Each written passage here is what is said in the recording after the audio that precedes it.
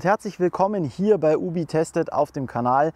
Schön, dass ihr wieder reingeklickt habt zu einem neuen Review und zwar mit einem durchaus sehr attraktiven Fahrzeug, wie ich finde, dem DS3 Crossback. Aber wir fahren hier nicht irgendeinen DS3 Crossback.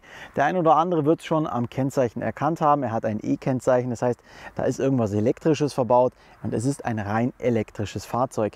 Den DS3 Crossback, den ich euch heute vorstellen will, der trägt nämlich hier den Zusatznamen E-Tens und genau dafür stehen dann die elektrifizierten Fahrzeuge aus dem Hause DS Automobile.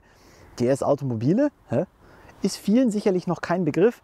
Seit 2015 eine eigenständige Marke im PSA-Konzern. PSA, Peugeot, Citroën, Opel.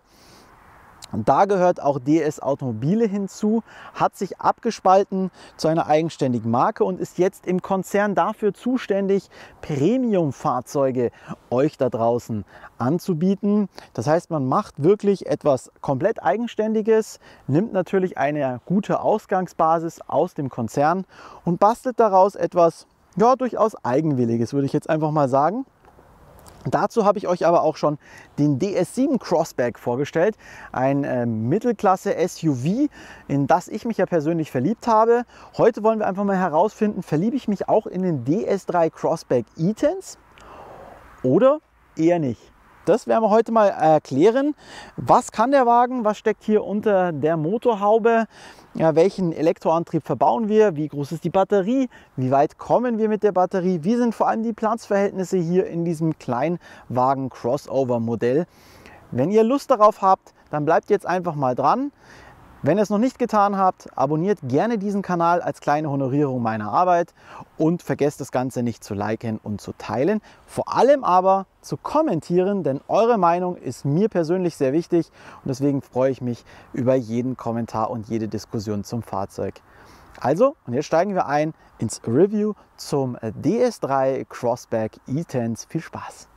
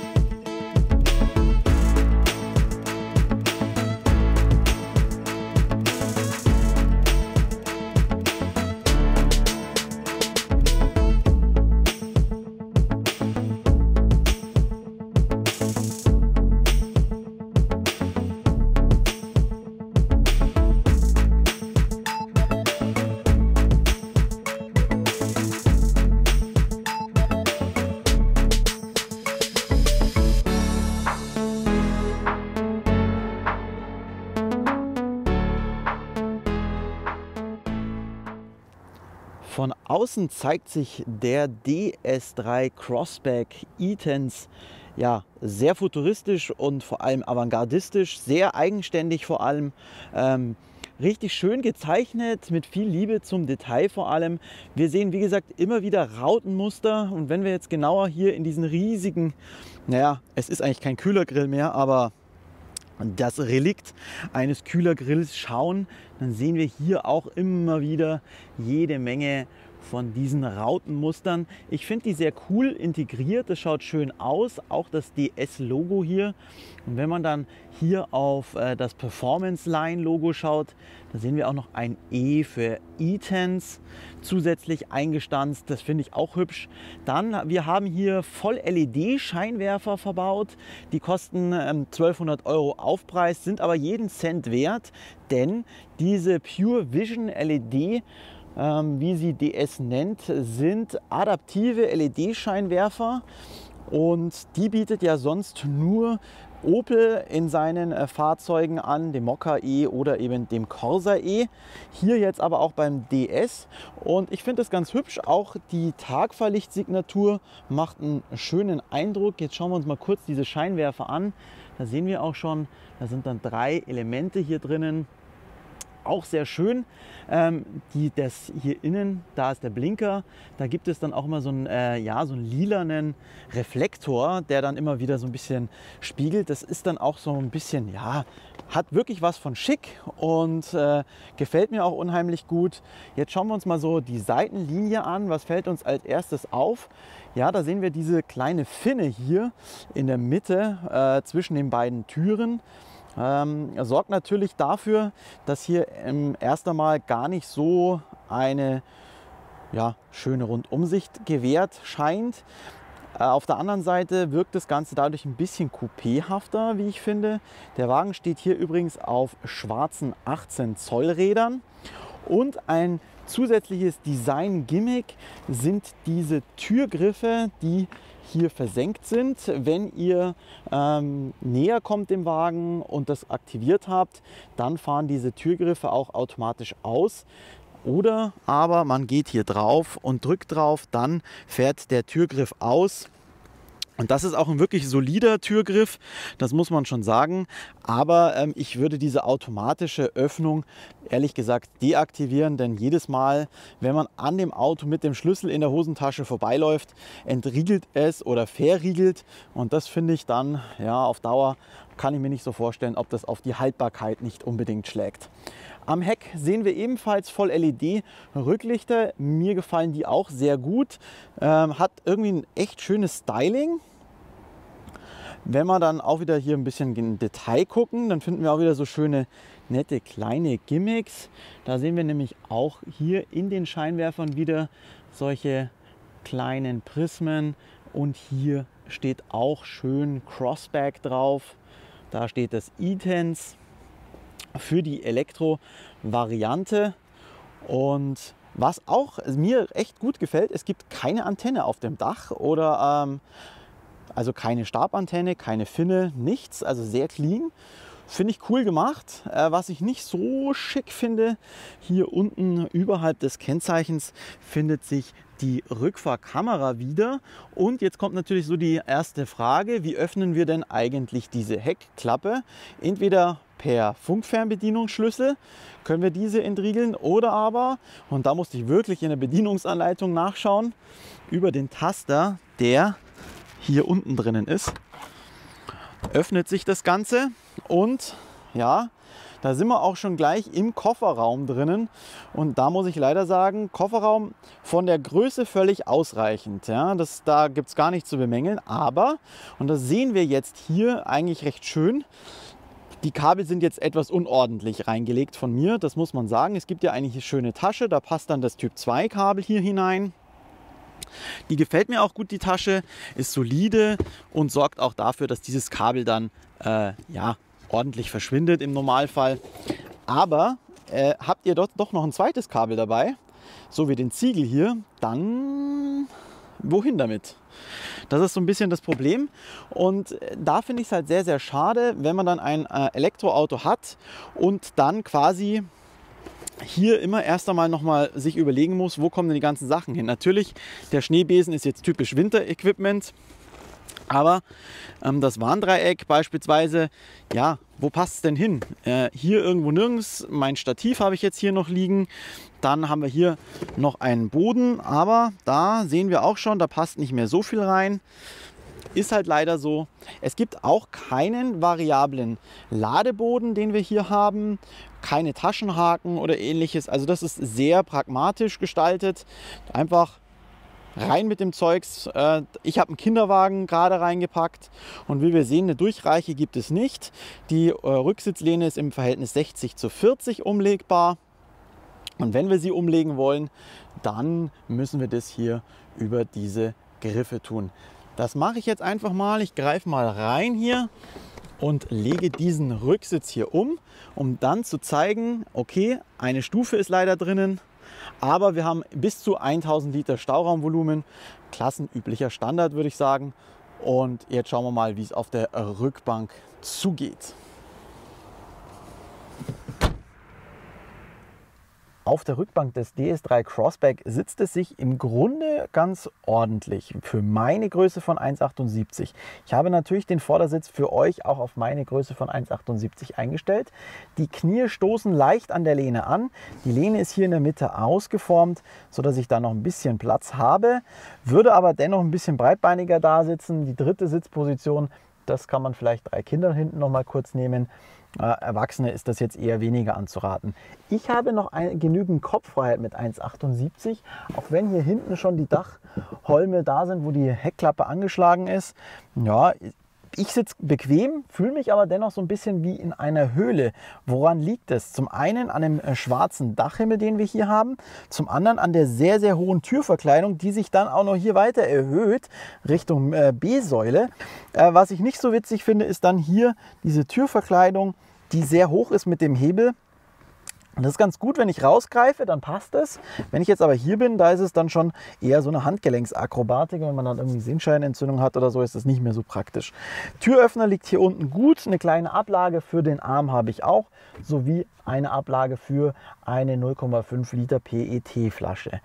Genauso habe ich hier auch einen äh, Haltegriff, der sogar gedämpft ist. Das gefällt mir gut. Eine LED-Leseleuchte gibt es hier oben. Was es allerdings nicht gibt, ist eine Mittelarmlehne oder aber gar ein 12 Volt Anschluss bzw. USB Anschlüsse. Die würde ich aber sagen, sollte DS in meinen Augen durchaus schnellstens nachrüsten, denn das gehört einfach in ein modernes Auto ähm, rein in der heutigen Zeit. Was drinnen ist, Isofix haben wir hier an den Außenbahnen. Die sind hinter einem Reißverschluss versteckt. Das ist ein bisschen fummelig, bekommt man aber rein. Reboarder Kindersitz geht rein, Maxi Cosi Schale geht rein, wenn man nicht größer als 1,78 ist auf der Vorderbank oder man nimmt halt einfach den Beifahrersitz. Der hat übrigens auch Isofix mit Top-Titer. Dafür gibt es einen Top von mir. Und jetzt schauen wir vor nach vorne. Vorne sitzt es sich im DS3 Crossback angenehm. Die Sitze sind schön ausgeformt. Da passt auch meine breite Statur ganz gut hin. Das Lederlenkrad ist in Höhe und Tiefe ausreichend weit einstellbar. Also da findet man eine durchaus gute Position. Der Sitz ist höhenverstellbar, auch auf der Beifahrerseite. Das finde ich sehr löblich und auch gut. Ansonsten gefällt mir auch die Kopffreiheit, die sehr gut ist hier. Dann habe ich auch genügend Beinfreiheit und äh, fühle mich hier in das Fahrzeug ganz gut integriert.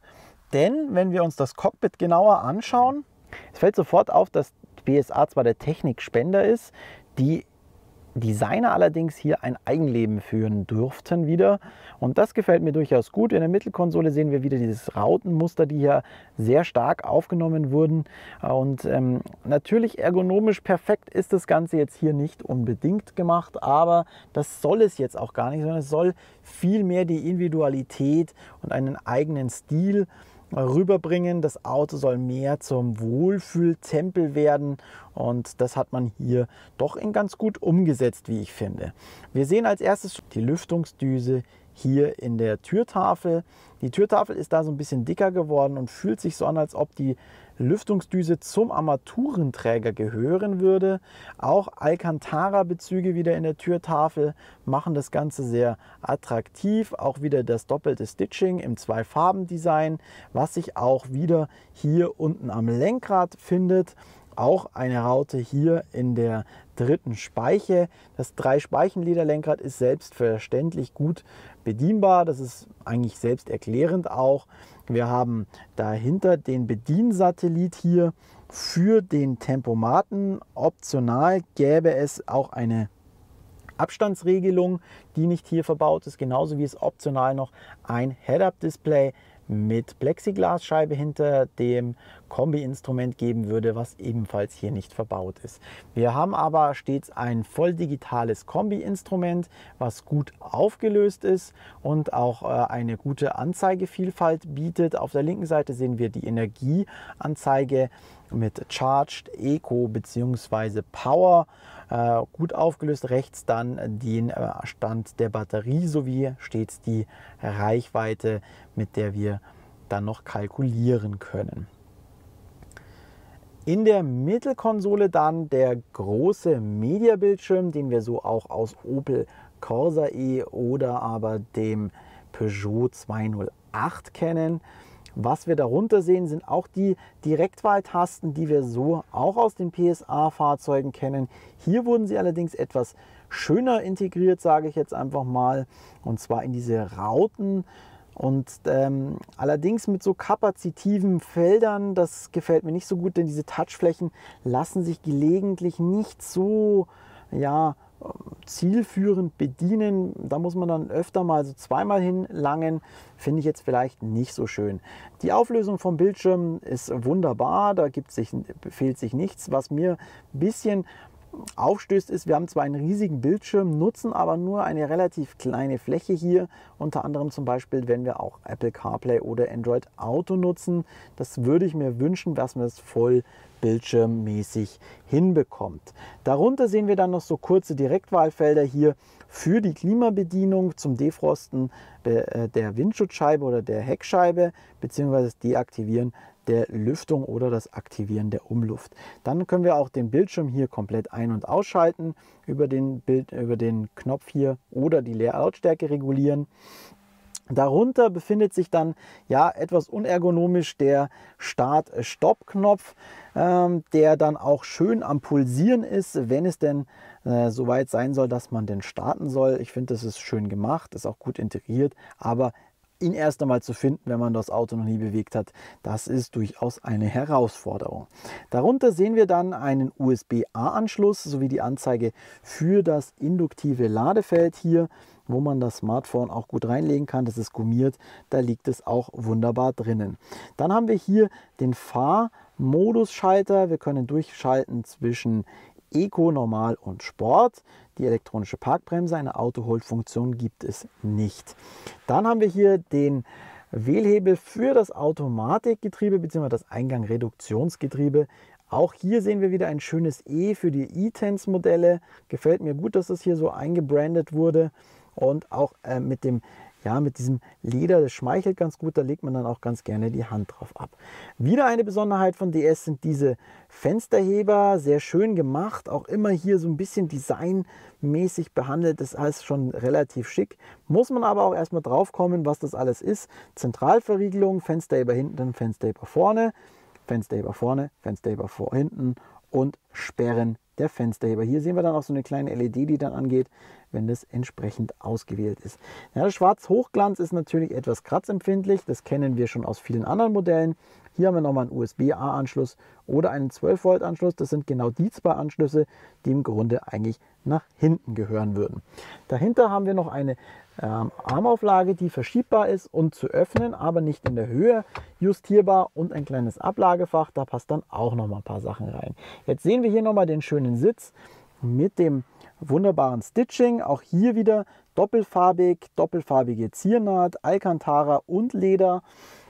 Das Ganze ist schön ausgearbeitet. Dann gibt es hier noch wieder ein Rautenmuster in der Kopfstütze und sehr schön hier auch wieder alles mit Alcantara bezogen. Gefällt mir gut. Und das wunderschöne DS Performance Line Logo, dass wir auch wissen, was wir für eine Ausstattungslinie gewählt haben.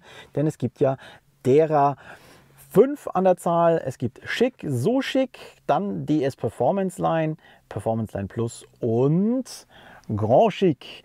Also je nachdem, was ihr haben wollt. Wenn ihr allerdings Grand Chic nehmt, dann könnt ihr auf alle hier euch auf sehr feinem Napa-Leder statt äh, so einem Stoffbezug wälzen und das macht das Ganze dann nochmal deutlich edler. Jetzt würde ich aber sagen, starten wir zu unserer Probefahrt.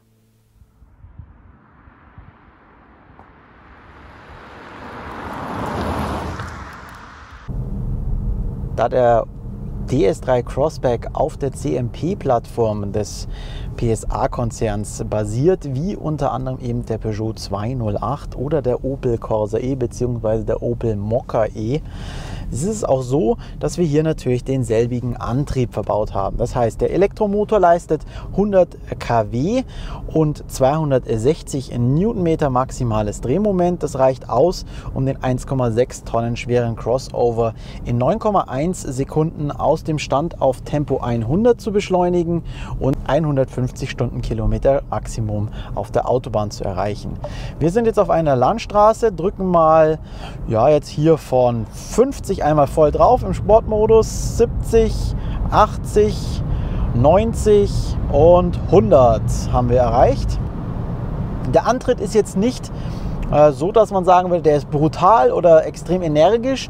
Nein, er schiebt gut voran, aber jetzt nicht so, dass man sagt, es drückt dich in die Sitze, wie man es sonst vielleicht von so Elektrofahrzeugen irgendwo gewohnt ist. Die Antriebsbatterie hat 50 Kilowattstunden brutto. Davon nutzbar sind 46,3 Kilowattstunden und angegeben ist der DS3 Crossback e-Tens mit einem Verbrauch von 18,3 Kilowattstunden laut WLTP.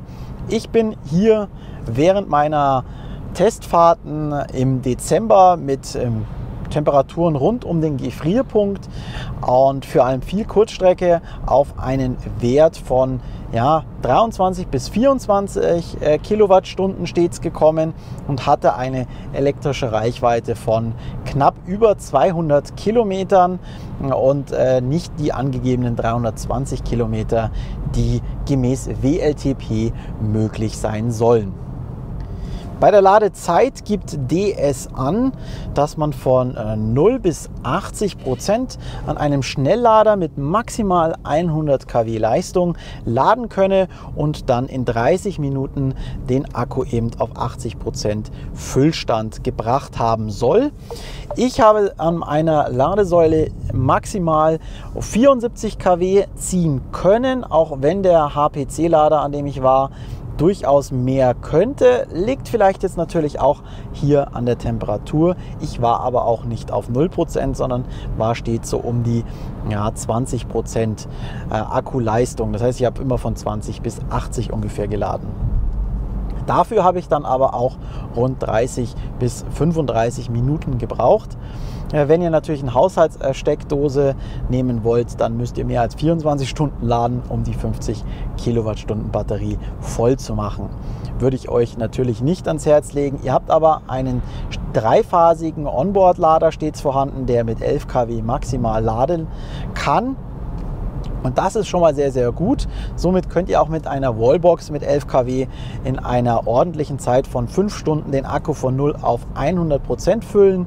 Und da ist dann äh, die Nacht völlig ausreichend, wenn ihr abends nach Hause kommt, den Wagen ansteckt und morgens wieder los müsst.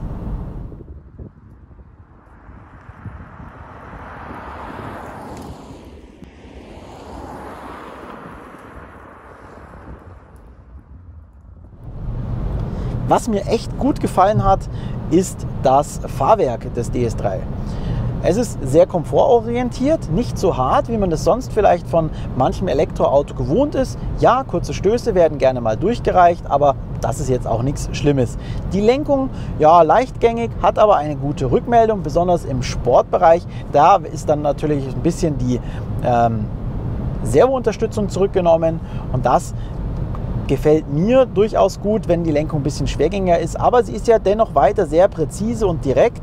Das macht auch schon mal Spaß. Und Fahrspaß bietet der DS3 Crossback sogar auf der Straße, denn durch den tiefen Schwerpunkt liegt der Wagen unheimlich gut und satt auf der Straße.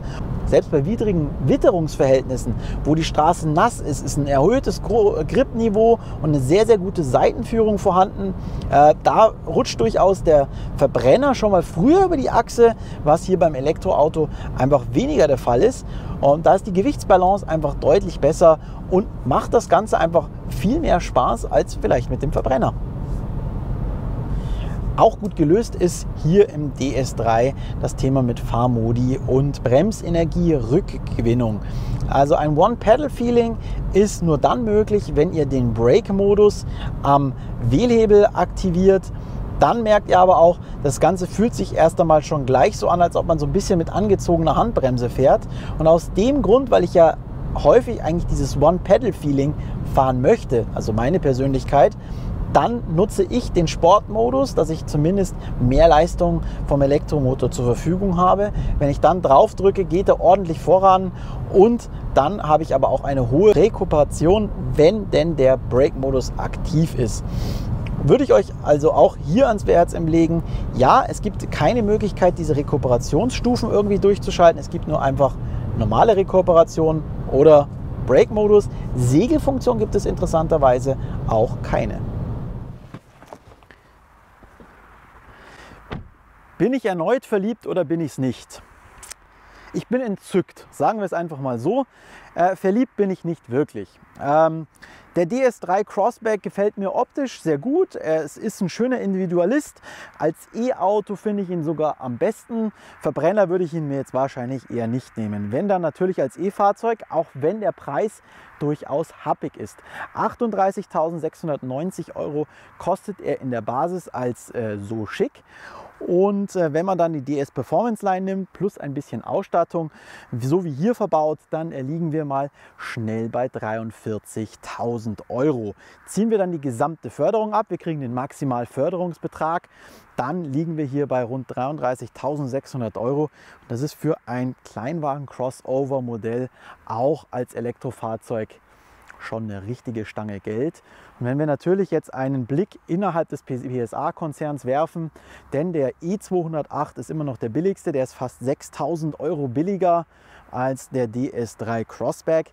Oder aber dann, wenn wir den Blick auf den Corsa E werfen, der ist dann auch nochmal 4000 Euro billiger.